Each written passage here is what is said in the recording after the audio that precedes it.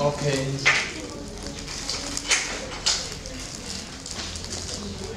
好，来，同学，你翻到这本书九十一页哦。我们从今天开始哦，我开始讲一些跟函数哦有关的特征。那讲到跟函数有关的特征哦，旁边可能哎，因为我们我们空白位置好像没有很多哈，我想我画一个小小的图，好不好？好。来的 x 轴可以吗？我想想看哦，怎么用一个图把一些函数的特征能够把它表示出来哦？哎，好，比如说这样子。上二之二。哎，对对对，二十二。为什么上那么快？啊，这样上上那么快哦？你知道我们第二章有几节吗？我们第二章总共有四节。那我们要考？呃，要考完。什么时候断？那我们不就是要一半？呃，二二之二才正要开始。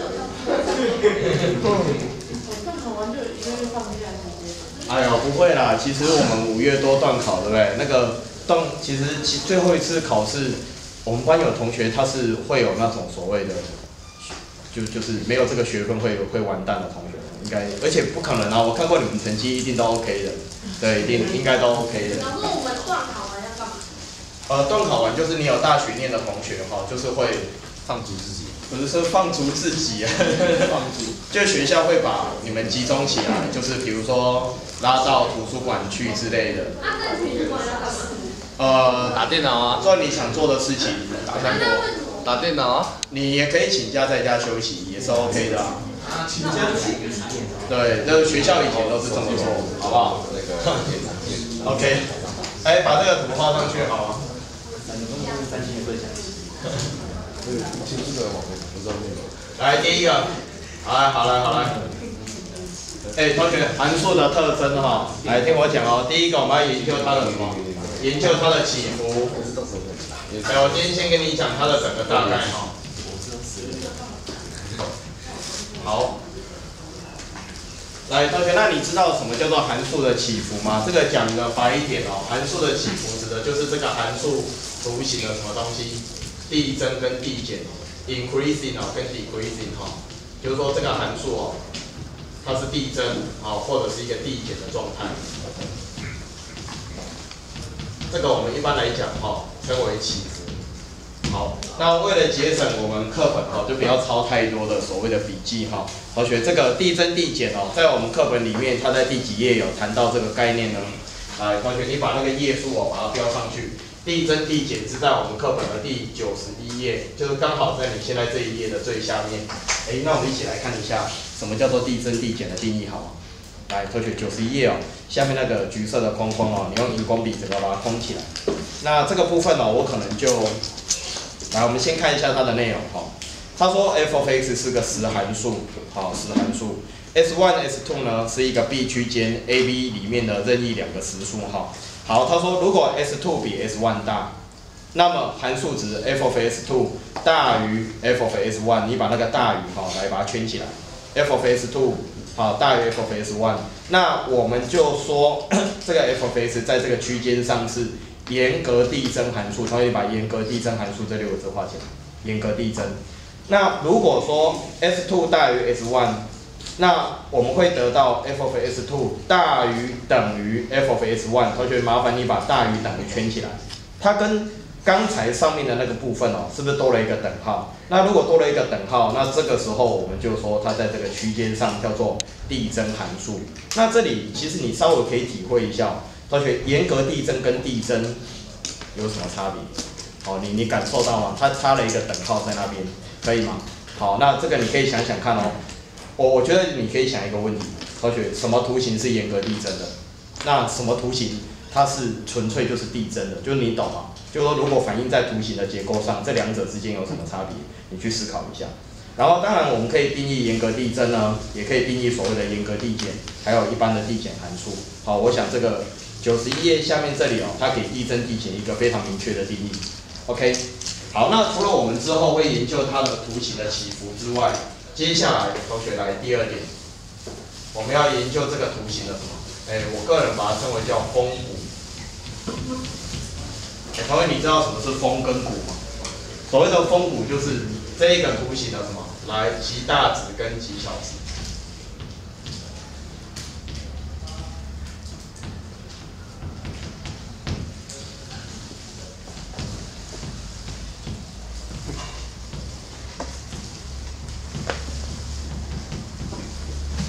OK，好，那比如说来同学，你看这个图，呃，这个图，嗯，它的极大值出现在什么地方？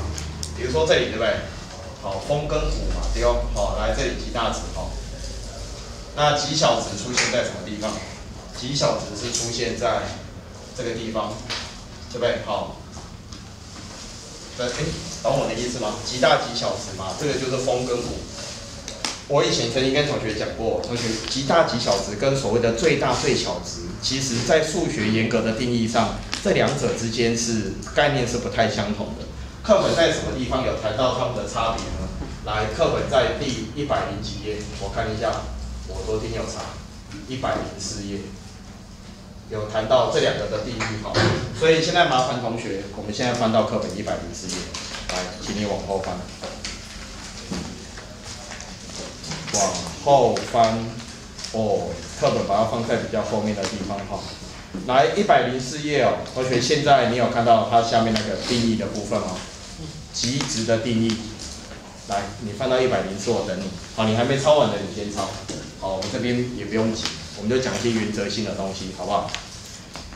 极值的定义哦，呃，我把它念过一次哈，来，我们一起看。他说这个 C 哦。是这个函数定义域中的某一个数字，而且在定义域 C 中那个中那个 C 附近的每一个数，同学荧光笔拿出来，把 C 附近的每一个数把它画起来。如果它跟它旁边的那一些数来做比较的话，我们发现呢，f of c 都会大于等于 f of x，那么我们就把这个 f of c 称为这个函数的一个最大啊，对不起，讲错，极大值。把一个极大值画起来，听懂吗？所以同学，我跟你讲哦，什么是极大值？极大值就是它跟旁边的人比，它比较大，它就是极大值。你听懂吗？那我们再接接接着继续往下看。他说，如果 a 是这个函数定义域中的某一个数字，而且在定义域 a 中的附近每一个数，好，好了，他这边只是想要讲极小值的概念，好好，这个没什么，这个就是跟极大值是一样的想法。跟附近的人来比，如果它是比较小的，好，那么它就叫极小值。那接下来你看那个夸弧二，那个夸弧二，它在讲最大最小值。那到底最大跟最大跟极大有什么不一样？你看一下那个括号二，他说 b 呢是这个函数定义域中的某一数，而且对于定义域中的每一个数 x，同学荧光笔画起来。定义域中就是在这个函数有定义的那一些那个范围里面，对不对？每一个 x 哦。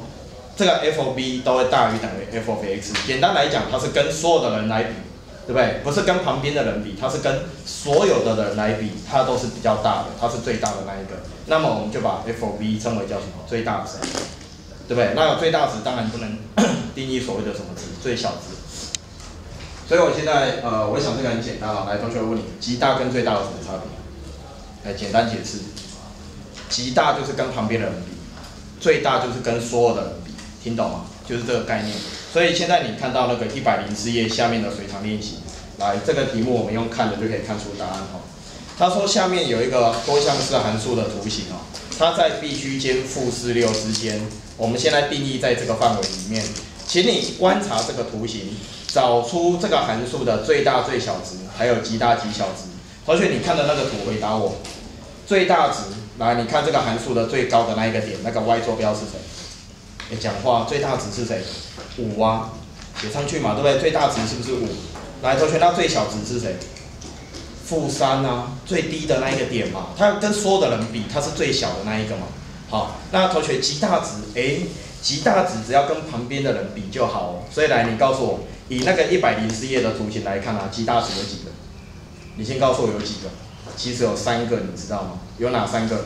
一个是五，一个是谁？三，一个是多少？负一。你有看到吗？就是那个 A 点、珠点跟 F 点，对不对？你有看到哈？来，同学，那极小值有几个？你知道吗？也只有三个，一个是一，一个是负三，一个是负二。所以同学，你现在应该很清楚，知道我在讲什么东西哈？可以吗？好，最大最小值、极大极小值的概念，这个很清楚哈。OK，所以最大值一定是极大值，好，而极大值不一定是最大值，好。好，那我们这边讲所谓的风跟谷的概念哈，来翻回到前面哦，你翻到那个第九十一页的地方。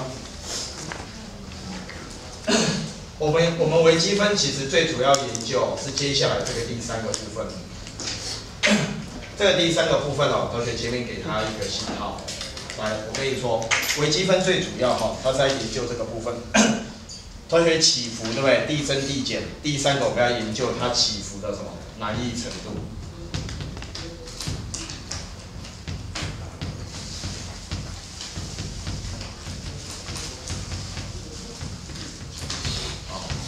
微积分来研究图形哦，同学对于这个起伏的难易程度哈，我们要做一个呃比较深入的研究哈。那初学者来，我这样讲，同学一样是递增，来我问你哦，这样是递增对不对？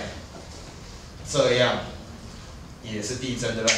哎，同学，如果你把它当成是爬山，你觉得哪一个爬山是比较轻松的？哪一个是比较累？爬山呢？你觉得呢？一个人一个人站在这边。一边被刷我，他要爬山，他要爬上去。你觉得这样爬比较轻松，还是这样爬？这样这样爬会比较轻松？你觉得上面比较轻松，还是下面比较轻松？可以不要爬吗？下面这个比较轻松吧。下面这个你会发现一件事情哦，它的切线啊，它的切线斜率是不是都是正的？可是你越往右边的时候，你的切线斜率会会越怎么样？哎，你的切线斜率会怎么样？是不是会递减？你是不是会越来越平滑？刚开始可能很累，对不对？哦，它爬很累，可是你爬上去之后就很轻松了，有没有？可是这个怎么样？这个东西，来，你注意哦，它的切线，来，在这个递增的范围里面，你会发现它在每个点的切线斜率都是正的，对不对？可是你会发现它的切线斜率是递增，所以你一开始爬可能觉得还好，可是爬到这边，哎，这应该有点爬不上去，对不对？是不是越来越辛苦？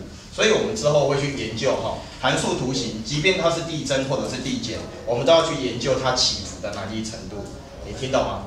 啊，这个是递增啊，那递减也有啊，比如说递减有怎么样？哎，有这样子的，这个是不是递减？对吧？还有一种，还有一种递减是怎样？是这样子有没有？对吧？你看这个是不是都是递减？有没有看那种零零七的电影？男主角不是常常都有滑雪？他滑雪都会滑这一种的还是这一种？正常人都是滑什么？正常人滑雪是都滑这一种，对不对？正常人，啊那种零零七的男主角滑都是滑这种，这样滑，然后整个人就飞出去，有没有？你们看电影啊，就是这样才刺激啊，这样滑，然后就哇，整个人就喷出去那种感觉，有没有？对不对？就是你懂我意思的，就有吧？好，那我们看电影就是这样子嘛，好，哎。那我跟你说，这个是起伏的难易程度。之后我们会慢慢的跟同学来做解释哦。好，那图形的特征来第四个啊，第四个，图形可能会有什么东西呢？会有所谓的渐近线。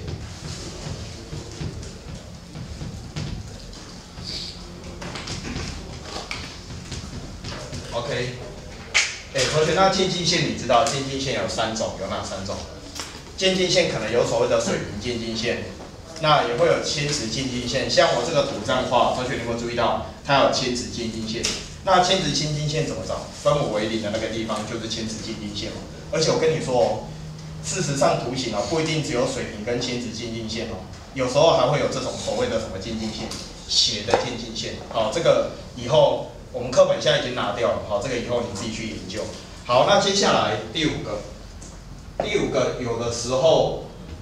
图形会有所谓的对称的性质。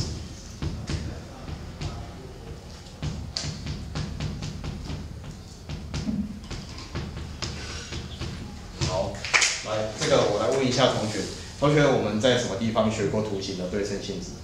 比如说有一种什么函数，奇函数跟偶函数啊，对不对？我们以前是不是学过什么函？就是你知道什么是奇函数吗？奇函数图形会对称什么？哇，都忘记哦，原点嘛。那偶函数的图形会对称什么轴？y 轴嘛，对不对？所以有些图形它本身会有所谓的对称性在里面。好，这个我相信同学是知道的。然后接下来第六个哈，有时候我们会去研究所谓的根的问题。可是我个人的观念是觉得哦，哎，同学你知道根是什么意思？这个图形跟谁的交点？S 轴的交点，对不对？求根的问题其实很重要，在方程式里面哈，有时候你要去解这个方程式，怎么把它的根找出来很重要。可是我觉得以图形的观点来看，那个根其实有一点不是很重要，就不太重要哈。那个根的位置到底在哪里，可能就还好。我我个人觉得这个起伏哈，递增递减，极大极小值，还有这个起伏的难易程度哈，这个东西会主导整个图形的结构，这样子，OK 吗？好，我们这个先对整个图形哈有个基本的想法。好，那现在 来在我们的课本里面，我开始来讲一个东西哈。好，我来定义哦，来 DEF。我先简单哦，我们从这个递增递减开始，可以吗？好，来同学，什么叫递增？来，S1 大于 S2。好，呃，如果导致呢，f of s1 会大于 f of s2。简单来讲，你的 x 如果越大，你的 y 跟着越大的话，同学这种情况我们称为叫什么？叫递增。那递增有两种啊，一种是一般的递增，一种是所谓的严格递增哈。OK，好，我就用这个符号代表递增，这个同学是清楚的，这样可以吗？那如果今天 s1 大于 s2，好。结果 f of s1 来小于 f of s2，对吧？s 越大，结果它的 y 值反而越小，那这个图形显然一定怎么样？哎，这个叫做递减。好，这个递增跟递减的定义哦，我们可以把它说明清楚，这个没有什么。哎，那我现在要讲一个小东西哈，来这边写一个 key 啊，讲到这个递增递减哈，呃。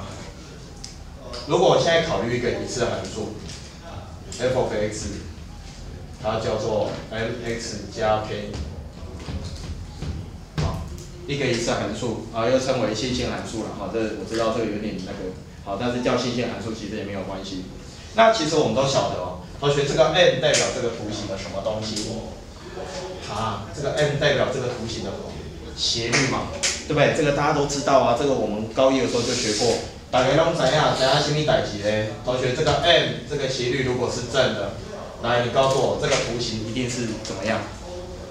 好，斜率如果是正的，这个图形一定是左下到右上嘛，对不对？所以它一定是递增的情况，对吧？斜率如果是正的，它图形一定是递增，这个大家都清楚啊。那斜率如果是负的，那这个图形肯定是怎么样？肯定是递减的，对不对？这个太直观了。呃，不过我可以问一下，有人会证这件事情？聊聊你会证明？这个证明大家一行就结束哦，我证给你看好不好？OK，要怎么证明这个东西哦？来，同学，我用 f of s1 去减掉 f of s2，来，这样可以吗？我这样写你接受吗？好，那你看哦，相减啊，我们这边是不是都有 m，然后把 m 提出来，它是会等于 m，然后这边是 s1 减掉什么 s2，啊 k 你相减是不是 k 就不见？哎，就知道我在做什么事情了。同学，我正完了，你有看到吗？同学，你看哦，如果这个斜率啊，这个 m 是正的，那我问你一件事情，s1 如果大于 s2，是不是代表这个家伙也一定是正的？对啊，它正的成正的，这个东西是一定也是正的，它也是正的啊，那是不是代表 f of s1 一定会大于 f of s2？对啊，很合理嘛，对不对？这个证明那一行大家就讲，听懂吗？很简单嘛，好，OK，来看一下，这一次函数的递增跟递减有没有问题？没有哦。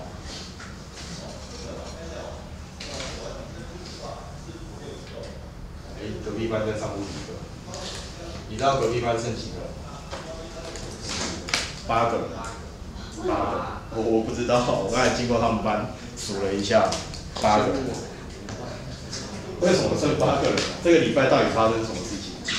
大家都去面试了吗？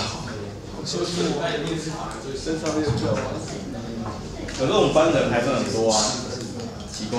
我们应该下礼拜。下礼拜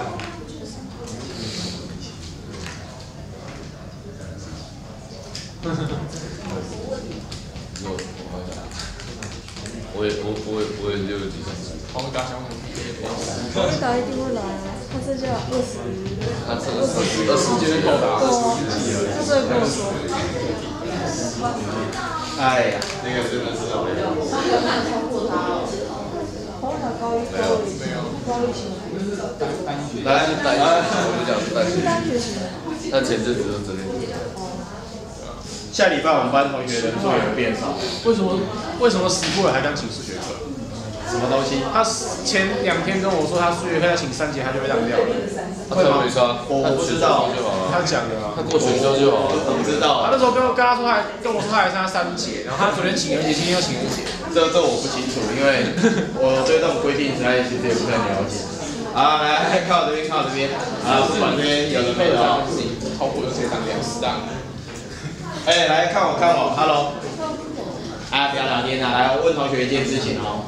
我们昨天讲那个线性逼近哦，哎，跟函数的递增递减有关系哦。哎，我问一下，它为什么叫线性逼近？你可不可以一句话解释就好？好，麦恭喜对于微博啊，就是能不能简单的解释？我们的学生就有个问题，你知道吗？就是说很多概念其实你懂，但是叫你讲，你会有一点呃，好像不知从何下手那种感觉。那像我们昨天教那个线性逼近嘛，都昨天才讲，对不对？那你觉得如果要你简单的解释什么叫线性逼近，你会你会怎么解释？呃，好，这样讲，来，我认为线性逼近哦，它是在一个极小范围内，好，写一下好，好，复习一下昨天讲的。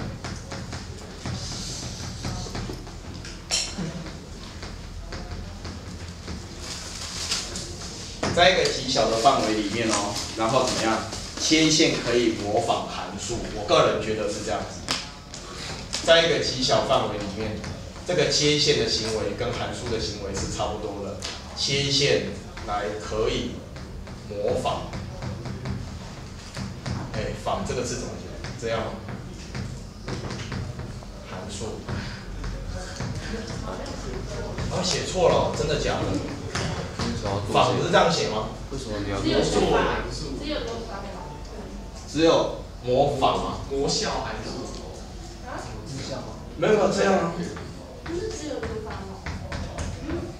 这不是这不是仿效效吗？起锅了。我也我也对不起我。所以所以所以到底模仿的方怎么写啊？只有就一个方啊只。有一个方。哦哦，人方。又被那个铺没了。哎呦，我的天哪！哎呀，这样吗？哦，对对对对对，这样就没有错了。好啦，这不要记不要介意嘛，数学老师这个不要不要再那个，好不好？好。哎，你不是说你之前本来要去考国语系？搞什么？我又我又没有上。难怪上不了。你你你是因为就错这一个字？来，这个我这样讲啊。来，你看啊、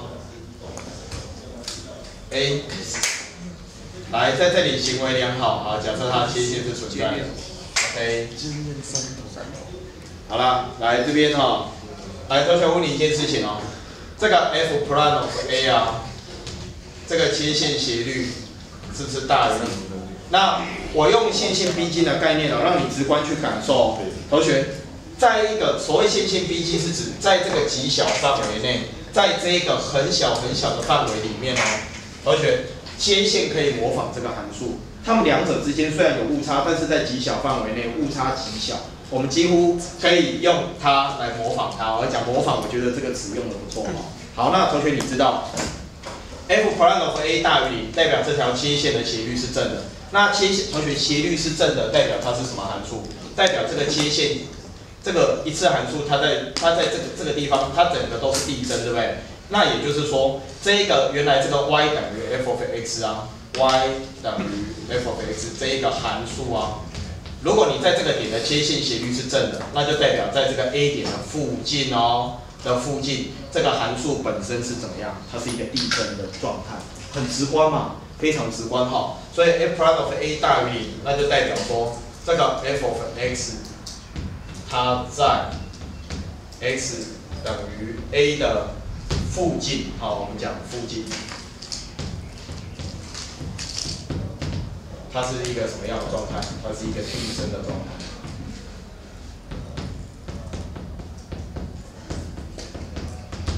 OK，好，这个应该对同学来讲会觉得 OK 啊，可以接受，对不对？没有问题的。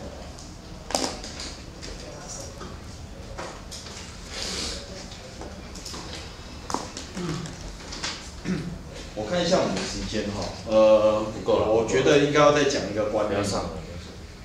不要上啊，这个我们要。